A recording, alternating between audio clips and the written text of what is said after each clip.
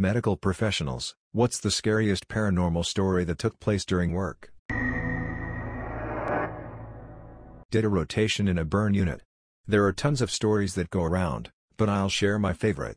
A pimp lit one of his prostitutes on fire, and she immediately bear hugged him causing them to both suffer pretty severe injuries, unfortunately hers included an inhalation burn. They both were being treated in the same ICU but on opposite ends. Weeks later she ends up coding and passes away, and after about 30 minutes as things start to quiet down, the guy starts screaming from his room get her out. Get the goddamn woman out of my room. There is probably some medical explanation for this, but still the weirdest thing I've seen as a nurse so far. We had a very robust, confused old lady on our floor. Her room was in front of the nurse's station so we could keep an eye on her, and had one of our nurse's aides as a sitter too. She was always fighting, kicking, trying to get out of bed. Very restless and agitated, as some patients I've had before can get before death. One day we were called into the room as her heart rate was going down and she lay still with her eyes open. It was 30, 20 and then flatlined. We checked for a pulse and did not find any. She was a DNR so we did not attempt resuscitation. We close her eyes, prepare to get the body bag and call the family, the sitter remains in there to start getting the body ready. Less than 10 minuets later she calls us back in. The old lady is at it again, hitting, kicking, trying to get out of the bed. She came back to life. I've worked in a small family-run nursing home for six years as a nurse aide. It was a orphanage before it became a nursing home, and unfortunately before being shut down the orphanage had a history of severe abuse and neglect. Unfortunately it's not gossip the owner herself had told us. When residents get close to death they always see a little girl. One of my patients a very alert gentleman he knew all our names and was very alert and oriented. I was passing dinner trays and saw that he had his back turned and was talking and laughing in the corner of the room. I knocked and asked him who he was talking to and he chucked and said this little girl came into my room, she was scared he died three days later. About six months later had another patient screaming about a little girl grabbing his feet and she needed to leave him alone. He died that night. She's come up over the years it's always the same thing, they see her and then they die. Other co-workers have had the same experience. It's very unsettling. I worked in a pediatric hospital and had always heard that the fourth floor right outside our oncology unit was haunted. I worked 312s normally but would pick up overtime and picked up a night shift. I was working in the NICU which happened to also be on the fourth floor but on the opposite side. The oncology unit had a staircase that was a short cut down to the cafeteria which was on the second floor. At about 3 a.m. I was ready to take a short break and wanted a cup of coffee from the cafeteria so I decided to take that staircase. I walked through the automatic double doors and saw a kid skipping down the hall. I called out to him as I was afraid a little kid had snuck out of a patient room. As soon as I called out to him he turned and in the blink of an eye totally vanished. A lot of other nurses and docs had seen the same little kid skipping in that same hallway. Of course I chalked it up to just exhaustion and didn't really think about it much after that. But you are damn sure I didn't use that hallway at night ever again. I was working at night and one of the patients died while I was in the room. We tried everything to revive this person but it didn't work so after doing the papers and everything I went to another place in the hospital and I swear to God that this patient who I saw dead, touched my right arm. I think that I have never cried that much in my life. I used to work in a nursing home as both a CNA and an LPN, and while nothing too crazy happened there were definitely things that happened out of the ordinary. I remember one time after someone had died I was cleaning up her body and the door to the room swung wide open even though it had been firmly latched nobody was there. It gave me the creeps. There were instances of furniture being moved, lights turning on and off by themselves, and toilets randomly flushing by themselves as well.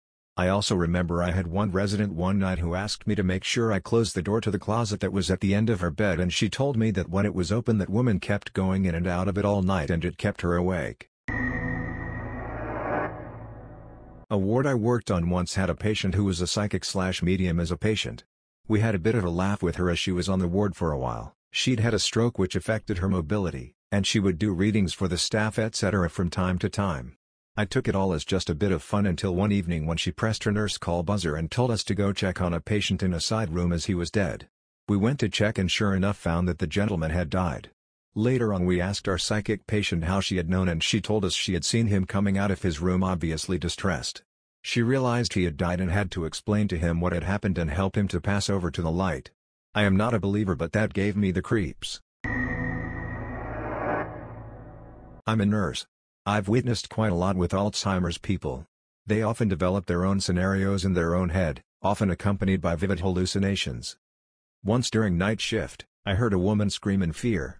Checking on her, she managed to climb into her wheelchair in pure panic, wanting to flee her bedroom. Asking what was wrong, she thought the building was on fire. Now what's important to mention here is, people often make claims that people are just crazy or dreaming badly or something. But this is not the case. People with hallucinations have been found to actually see, hear, smell, etc. something, when their hallucinations occur, as the same locations in the brain are stimulated as if they would get real impulses. That woman actually saw fire. She actually smelled fire. She didn't just make that up to be crazy. It's what her brain told her was happening. And she was in real panic for her life. And the same applies to when those people see someone else in their room. When they want me to guide someone out of the bedroom who isn't actually there, seemingly standing right behind me. And it makes no sense to discuss with them that no one's there. To them, someone is there. And you better do your best effort of improvising to guide that someone, even if it's no one, outside.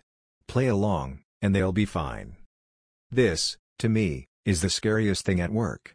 They see something you don't. Worked in a nursing home slash long-term facility for multiple years. Personally hadn't experienced anything too crazy apart from mystery call lights call bell system going off, no buttons lit up no rooms lit up, system would have to be reset from the electrical room to clear it. Hearing doors close shut, toilets flushing, faucets running. These were by no means commonplace. Other staff had some more direct experiences though, apparently in one hall a little girl would occasionally be seen walking, this had been reported by multiple staff as well as patients. A staff member was sitting out in her car during night shift when some woman who knocked on her window and quickly disappeared.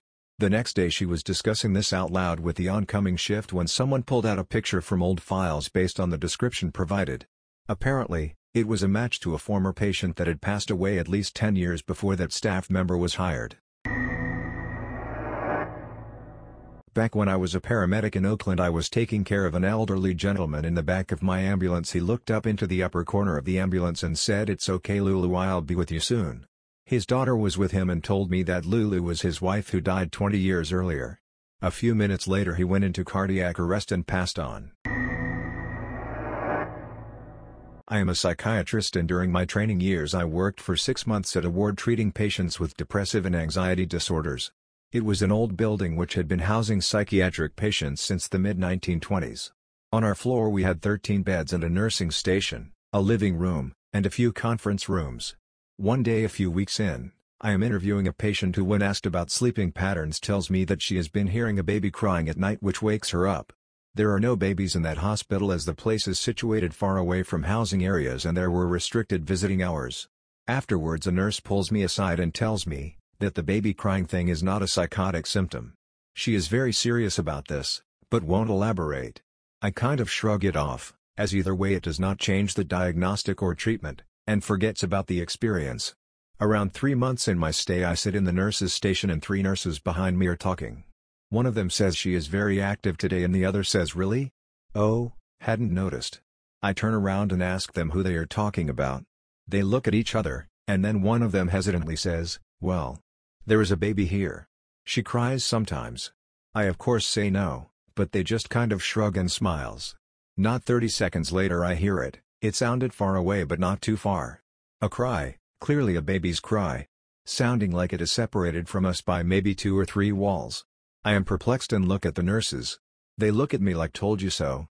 I of course ask about this, but they can't say anything else but this faint baby cry is there and have been there always. Since then I heard it maybe two to three times a week. I told a new doctor about it who laughed, however a few weeks in her stay, she came to me, white as a sheet, and told me she heard it. All the nurses just kind of knew about it, and being in psychiatry, hearing that kind of stuff is not really something you brag about. I was transferred and haven't heard it since. I think about it sometimes, but I don't really know what to make of it. In med school, we had an anatomy exam on like November 1st or 2nd. So on Halloween night, me and my roommate decided that since everyone else was off partying, This would be a good time to get some uninterrupted studying going. Well, it was already creepy as hell being in the basement of the med school surrounded by cadavers. Well, an hour or so in, we're going through anatomy and all of a sudden on the other side of the lab a faucet suddenly turns on.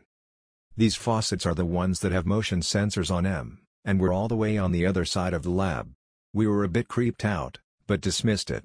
We get back to work and then it happens again, but on a different side of the room, again far from where we are. This happens maybe two more times over the course of an hour or so. Finally we've had enough and we decide to leave. As we're gathering our stuff and heading out, we remark to each other about a side room where the instructors will prep their lectures and for exams etc. We decide to pop our head in to see what was in there and we stop dead in our tracks. Like I said, we were the only ones in the lab and we had heard no one else come in. In the side room there is some person that we don't really recognize bent over, working on a cadaver.